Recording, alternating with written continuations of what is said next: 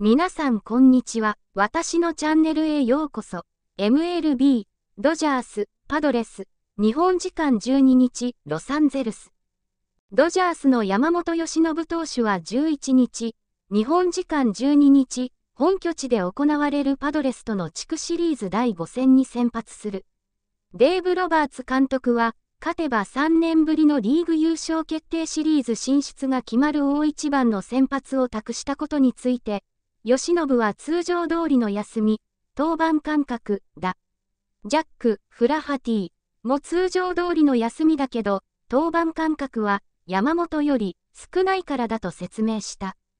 映像、山本由伸と並んでも、大きいな、LA 美人レポーターに騒然、やっぱり綺麗。山本は5日、同6日の第1戦では3回5安打5失点だった。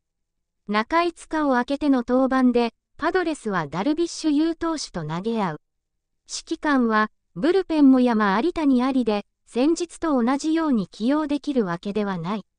吉信はエース格の先発だと思っている。今こそ、能力を発揮する時だ。降板した場合は複数の選択肢があるが、私たちは彼が先発することに自信を持っていると大きな期待を寄せた。指揮官は山本の好調のバロメーターについて、カーブ、スプリット、スライダー、速球の請求。機能している球種を見つけ、相手の反応を見ることと話し、請求が正確であれば、私たちにとっていい日になるだろうとポイントを挙げた。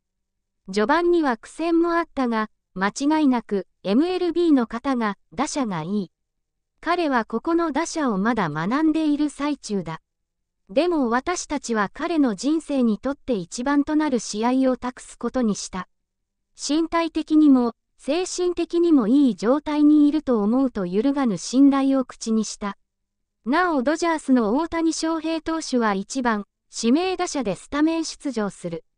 ここまで地区シリーズは全4試合に出場し、打率250、16打数4安打、1本塁打、4打点となっている。どう思いますか？気に入っていただけると嬉しいです。また次回お会いしましょう。